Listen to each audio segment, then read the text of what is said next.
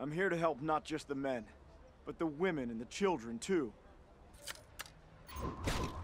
If you ever want to sell your lightsaber, contact me via the black market.